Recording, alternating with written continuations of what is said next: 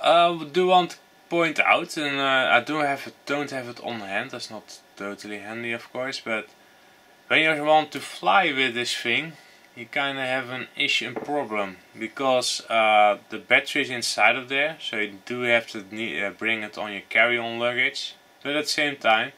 it's pointy and kind of mean as well. So if people at the, the let's say the the, the, the, the, the check, if the people that check your luggage see that, you may get an issue because they say it's pointy, it's dangerous, things like that. Um,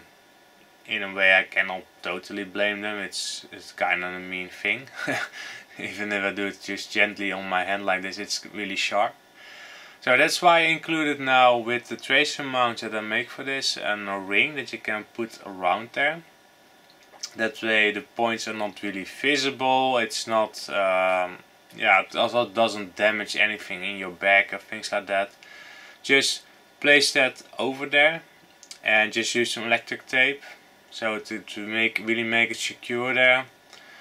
Uh, I've tried it, uh, but I cannot guarantee of course that it will work for everyone, but it does make it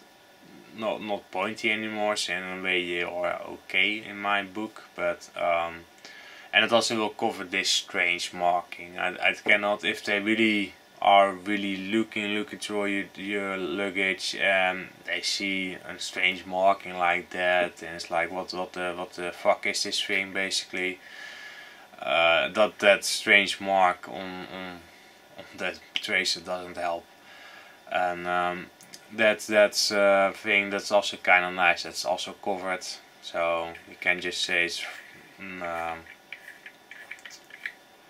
a flash uh, flash device maybe for